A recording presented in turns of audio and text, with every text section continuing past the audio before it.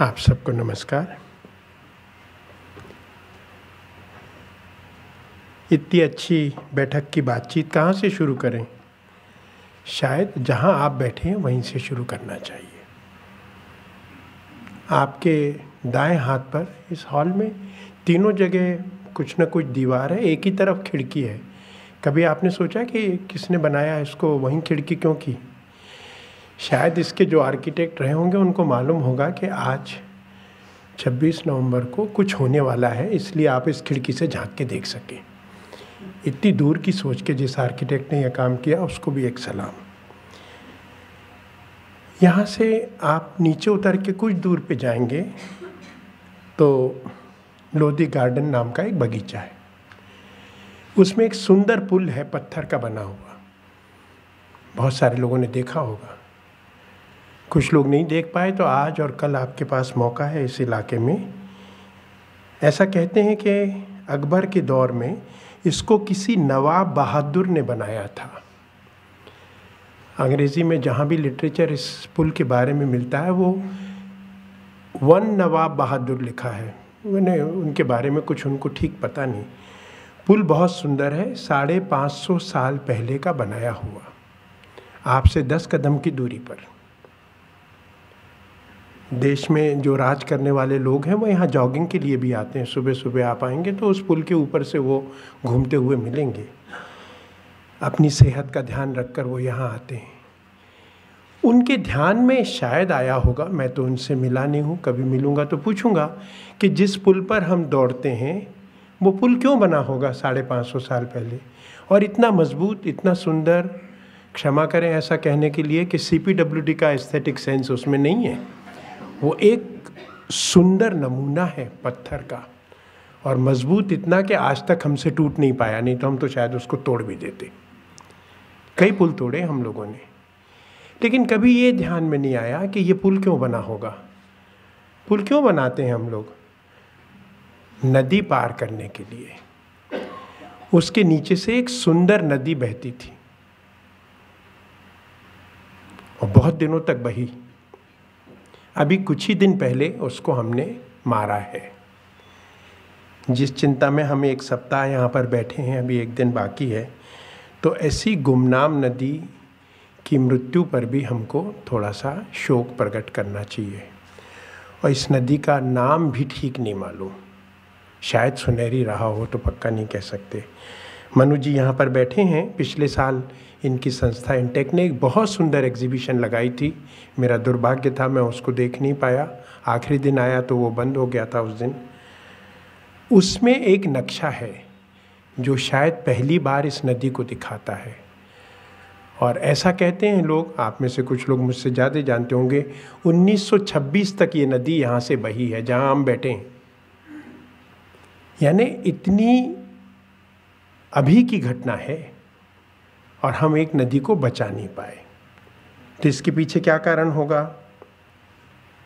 मुझे लगता है कि आप इस तरफ़ जाएँ जो खिड़की इशारा कर रही है, उसमें लोधी गार्डन की तरफ़ पीट करके खड़े हों, आपके सामने खान मार्केट की तरफ़ जाने वाली सड़क होगी।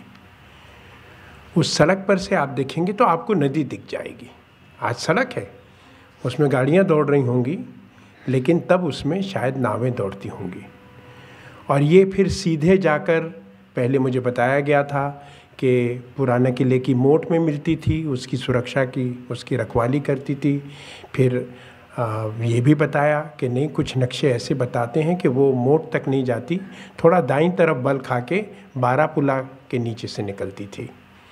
तो ऐसी सुंदर चीज़ें हमारे आसपास थीं और हमने उनको न जाने किस कारण से मारा। पुल का नाम है अठपुला इसके आसपास दिल्ली में और भी पुल हैं इस तरह के नाम के। इसी वज़न के। एक का नाम सतपुला है। ये अठपुला है। सतपुला आपको साकेत की तरफ़ कभी जाएँगे तो मिलेगा। फिर एक बारापुला है। बहुत कम लोगों को अंदाज होगा कि बारापुला एक हिंजड़े का बनाया हुआ है। आज तो कहीं कहीं हिंजड़े चुनाव उनाव भी लड़े हैं हारे भी हैं जीते भी हैं। कोर्ट ने आ, बहुत उनको सम्मान के साथ एक आदेश देकर समाज का हिस्सा भी बनाया है। कुछ अच्छे आंदोलन भी हैं जो हिंजड़ों की आ, अपनी सदस्यता की तरह स्वीकार करते हैं। और आज हमारी बैठक में कोई नहीं होगा लेकिन उन आंदोलनों की बैठकों में उनकी भी उपस्थिति मिलती है। साधारण सदस्य की तरह समाज के तो इतना बड़ा काम एक हिंजड़े ने किया। तो ये 1914, 15, 18, 20, 26 कब नष्ट हुई मालूम नहीं। आज 2014 है 100 साल पहले थी। इन सब के बारे में हम लोग कुछ सोच नहीं पाते। दिल्ली राजधानी बनी तो ये चीज़ें गईं। सड़क की ज़रूरत है राजधानी को लेकिन नदी की नहीं है क्या? सड़क को नदी भर के बनाया हम लोगों ने। कैसे निर्णय लिया होगा? उस समय कोई आरटीआई था कि नहीं? कोई बड़ी अदालत नहीं थी? क्या नहीं था? क्यों नहीं इस बात को रोक पाए तब? लेकिन ये चलता है। अब हमारी राजधानी का विस्तार हो रहा है। एनसीआर कहलाता है। तो इसके आसपास की नदियों की भी शामत है ऐसा मान के चलिए आप। वो जिसे कहते हैं ना, बकरे की माँ कब तक खैर मनाएगी? तो वो हालत हमारे आसपास की नदियों की। दो दिन से चर्चा हुई है, हिंडन में जहर बह रहा है, ऐसा भी लोगों ने कहा। तो ये हिंडन भी एनसीआर के कारण। तो ये नदियाँ अगर सांस लेने लगें, उनका दम घुटने लगे तो क्या हमारे शहर बचेंगे? हमारी राजधानी हम बचा पाएँगे? तो ऐसी छोटी छोटी चीज़ों को आप देखें तो पूरा देश आज दिल्ली की फ़ोटोकॉपी दिखेगा आपको।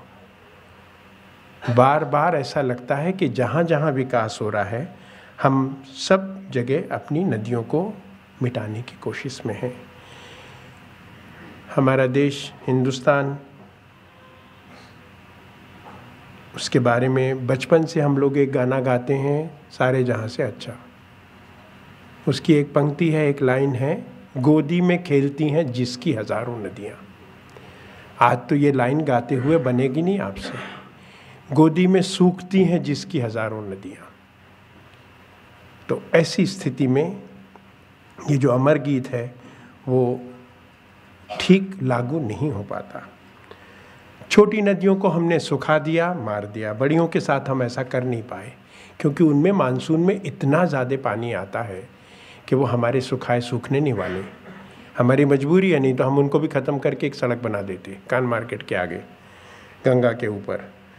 फिर हमारा क्या होता, बाढ़ में वो हमको बहुत भयानक चित्र सामने आता। तो बड़ी नदियों को हम मार नहीं पा रहे, पर उन पर बाँध बना रहे हैं उनका पानी इधर से छीन रहे हैं उधर से छीन रहे हैं और वो चिल्ला के शायद कहती भी होंगी, लेकिन हम उनकी बात तो सुनते नहीं हैं अभी। ये सारी चीज़ों के बाद ऐसा लगता है कि कभी कभी जो नदियाँ गंदी हो गई, जिनको हम मार नहीं पाए हम उनकी गंदगी का अभी वोट लेने लगते हैं। और हम घोषित करते हैं कि अब हम गंगा को साफ़ करेंगे। दो बार ऐसा हुआ है। एक सरकार ने आने के बाद गंगा सफ़ाई योजना घोषित की। एक सरकार ने आने के लिए गंगा सफ़ाई की घोषणा योजना। एक सरकार चली गई। दूसरी सरकार ना जाए तो अच्छा साफ़ करके जाए। नहीं तो ऐसा हो सकता है कि वो भी उसी में चली जाए। पर आज हम लोगों को ये दुखद बातें ज़्यादा दोहराने की ज़रूरत नहीं है। मुझे लगता है कि ये अवसर है भगीरथ प्रयास के सम्मान का। तो आज हमको प्रेरणा वाली चीज़ें ही आपस में बात करनी चाहिए। मुझे इन्होंने हुक्म दिया है कि थोड़ा मैं दो चार मिनट ले सकता हूँ, वैसे तो ज़्यादा बोलने का मौका नहीं है। लेकिन मैं जो सजल जी ने भी बहुत अच्छे से कहा कि ये प्रयास है। तो हमें ये भी देखना चाहिए कि ये प्रयास मूलतः जिसके नाम पर हमने याद किया भगीरथ, उनका भी प्रयास था। अगर प्रयास नहीं होता तो क्या होता? उससे पहले आपको थोड़ा सा किस्सा पौराणिक जो है, उसको रिपीट करने वाली बात नहीं, जो चीज़ें हमारे ध्यान में नहीं आई उस किस्से में वो बताता हूँ। सगर राजा सब लोग जानते हैं, उनकी दो पत्नियाँ, एक से उनको दो बेटे हुए और एक से साठ हज़ार। और फिर जैसा हमेशा होता है, आज भी जो पार्टियों को लगता है कि चुनाव आ रहा है तो हमारा राज्य का विस्तार होना चाहिए। तब शायद चुनाव नहीं होते थे, लेकिन राजा विस्तार करने के कोई ना कोई बहाने खोज लेता था। तो उसने अश्वमेध घोड़ा छोड़ दिया कि तुम झारखंड जाओ, तुम महाराष्ट्र जाओ, तुम जम्मू कश्मीर जाओ और सब जगह हमारा राज हो जाए। राज बढ़ाना भी एक रोग है और जो राज पर बैठा उसको ये डर लगता है, मेरा सिंहासन हिल जाएगा। तो इंद्र का आसन हिल गया इस घोड़े के छूटने से। उन्होंने बदमाशी की। चुनाव लड़ने के बदले उन्होंने घोड़ा ही गायब कर दिया। जैसे बूथ कैप्चर करते हैं हम लोग आजकल तो उन्होंने घोड़े गायब कर दिया। और घोड़े को जाके कहाँ रखा? कपिल मुनि के आश्रम में बिना उनको बताए। अब ये साठ हज़ार बच्चे किसी के हों आज तो पार्टी की मेंबरशिप कितनी होती मालूम नहीं, लेकिन साठ हज़ार तो उनके परिवार की मेंबरशिप थी। लोग तो एक ही बच्चे का रोना रोते रहते हैं कि वो पार्टी में सब कुछ कर रहा है। यहाँ तो साठ हज़ार थे उनके। तो उन्होंने सारा हिंदुस्तान खोद मारा घोड़े को ढूँढने के लिए। और उनको मिला जब कपिल के आश्रम में तो उन्होंने उनके साथ गाली गलौज की, जो का आज कल भी चल, चलता है वो तो। उन्होंने को क्रोध आ गया, मुनि है। तो उन्होंने क्रोध से उनकी तरफ़ देखा और भस्म कर दिया। सब के सब ठंडे हो गए। अब ज़िम्मेदारी आई सगर की कि इनका उद्धार कैसे करे इतने लोगों का। कोई बच्चा ही नहीं उद्धार करने वाला। साठ हज़ार तो खुद ही शहीद हो गए। तो दूसरी पत्नी के जो दो बच्चे थे, उनमें से अंशुमान को ये ज़िम्मेदारी दी गई कि तुम जाओ बेटा और पता करो कि इनको कैसे ठिकाने लगाएँगे, इनकी राख को इनका उद्धार कैसे होगा? तो उन्होंने भी बहुत सारे कंसल्टेंट देखे होंगे, घूमे होंगे। उनको कोई गरुण भगवान मिले। और उनका तुमको गंगा का पानी लाना पड़ेगा। गंगा कहाँ बहती है? उनका ऊपर बहती है। अरे, उसको कैसे लाएँगे? पर उन्होंने कोशिश की गंगा को लाने की। वो नहीं ला पाए। फिर उनके बेटे आए दिलीप। उनने भी प्रयास किया। वो भी नहीं ला पाए। और दिलीप बहुत अच्छे राजाओं में रघुवंश की जो पूरी सूची है, उसमें सर्वोत्तम जो राजा गिनाए जाते हैं, उनमें होंगे। इसके बाद दिलीप के बेटे आए भगीरथ। और उनकी ज़िम्मेदारी आई। तो देखिए, आप चार पीढ़ी राजा की बदली, तब तक गंगा नहीं आई है। भगीरथ ने कहा कि मैं प्रयास करूँगा। गंगा लाओ योजना नहीं बनाई उन्होंने।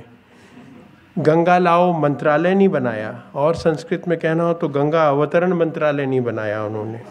अभी संस्कृत का भी दौर है थोड़ा। केंद्रीय बजट नहीं रखा उन्होंने उसके लिए कि भैया पचास हज़ार, पचास क्या, छप्पन हज़ार करोड़ वगैरह। उन्होंने तपस्या की। सजल जी ने भी तपस्या का ज़िक्र किया। दूसरा, तपस्या में श्रद्धा भी रखी, विज्ञान भी रखा। गंगा को ऊपर से नीचे लाना है, नीचे से ऊपर नहीं ले जाना है। अभी हमारे नए भगीरथ और नए राजा ज़्यादातर नदियों को नीचे से ऊपर ले जाना चाहते हैं। नदी जोड़ों का हम ज़्यादा आज विस्तार से बात नहीं करेंगे। तो पाताल की कोई गंगा, हमारे यहाँ पाताल गंगा भी शब्द है, आकाश गंगा भी। तो पाताल गंगा को लिफ्ट योजना बना के ऊपर नहीं लाना था उनको, ऊपर से नीचे लाना था। जो नदी का स्वाभाविक स्वभाव है, जिस पर कल एक पूरा सेशन बैठा इस बड़े सदन का, कि नदी का स्वभाव है ऊपर से नीचे बहना। तो आज हमारे लोग तपस्या नहीं करते नदी को बचाने। वो योजना बनाते हैं और जहाँ हम बैठे हैं, इसी के पड़ोस में वर्ल्ड बैंक है, उससे लोन लेने जाते हैं और कहते हैं, पैसा दे दो, हम नदी जोड़ देंगे, कुछ ना कुछ कर देंगे। आप हम पे भरोसा रखो, तपस्या नहीं आती हमको। तो ये है हिंदी में जिसको उल्टी गंगा बहाना कहते हैं, वो होता है। और इसमें फिर पाँच साल की योजनाएँ बनती हैं बड़ी बड़ी बातें होती हैं और भी कुछ चीज़ें इस समय हो रही हैं, पर मुझे उस पर ज़्यादा जाने की ज़रूरत नहीं लगती। मैं सिर्फ़ एक चीज़ कह के ख़त्म करूँगा नदी जोड़ों के बारे में कि प्रकृति के पास समय की कोई कमी नहीं थी। पाँच सात करोड़ साल का इतिहास है। जिसको आज हम अपना देश कहते हैं, उसको बनने में और भी लगा होगा। तो पंचवर्षीय योजना के बदले वो पाँच करोड़ साल की योजना में इतनी नदियाँ बनाई हैं, एक नदी कश्मीर से कन्याकुमारी की सीधे दौड़ा देती, दुरंतों की तरह। या एक माला पहना देती भारत माता को, उसका नाम मुद्रिका नदी रख देती, जैसे वो दिल्ली में मुद्रिका वगैरह चलती हैं। परिक्रमा नदी रख देती कि तुम इसकी परिक्रमा करो, तुम्हारा ये नाम। लेकिन उसने जो भूगोल बनाया, वो आड़े आता है। कहीं विंध्य है, कहीं सतपुड़ा है, कहीं हिमालय है, कहीं अरावली है। ये सब नदियों को रोक कर उनको अनुशासन में किसी न किसी और तरफ़ बहने का संकेत देते हैं। तो हमारा भूगोल इसकी इजाज़त नहीं देता, उसके साथ ज़्यादा खिलवाड़ करने की इजाज़त नहीं देता। तो मुझे लगता है कि ये जो आज इतना सुंदर आयोजन हो रहा है, इसमें हमको उल्टी गंगा बहाने वाली चीज़ों को भी देखना चाहिए। और जो लोग सीधी गंगा बहाने के प्रयास में हैं छोटे छोटे काम कर रहे हैं, गुमनाम काम कर रहे हैं, उन लोगों को विनम्रता से प्रणाम करना चाहिए। धन्यवाद।